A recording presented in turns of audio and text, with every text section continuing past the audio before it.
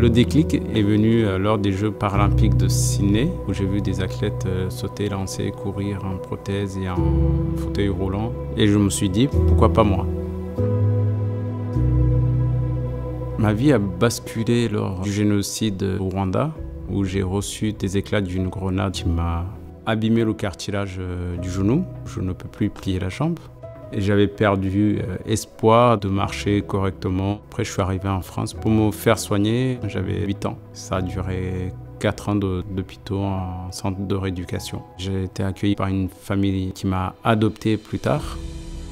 À 14 ans, j'ai arrêté les soins et les médecins m'ont dit il faut faire euh, du sport pour te rééduquer. Bah, pour moi, c'était un point de départ pour rêver. Au début, quand j'ai commencé à marcher avec des béquilles, déjà pour moi, c'était une victoire. Et lorsqu'on m'a dit que je pouvais courir, là, c'était une émotion que je ne pouvais pas décrire aujourd'hui. Deux ans après, j'étais dans l'équipe de France. En 2004, je participe à mes premiers Jeux paralympiques. J'ai gagné deux médailles d'argent sur le 100 mètres et le 200 mètres.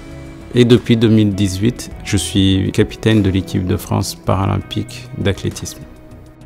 Malheureusement, les athlètes paralympiques n'ont pas beaucoup de partenaires et du coup, ils sont obligés de travailler euh, à côté. Je me suis orienté en tant qu'animateur sportif pour rendre ce qu'on m'a donné.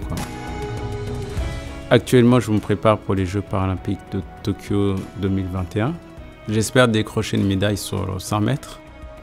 Aujourd'hui, j'appartiens à la team CEPAC. Je représente les athlètes paralympiques. J'espère qu'ensemble, on fera briller la France à Paris 2024.